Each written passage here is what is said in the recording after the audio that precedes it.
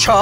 Pôjdeme domov. Oh my god, ja som zabudla kúpiť zemiaky. Hej, ja tak som si chcela spraviť masku. Dnešný deň patrí nepočujúcim a my už 10 rokov podporujeme tých, ktorí vedia vyjadriť lásku jediným gestom. I love you. Telekom.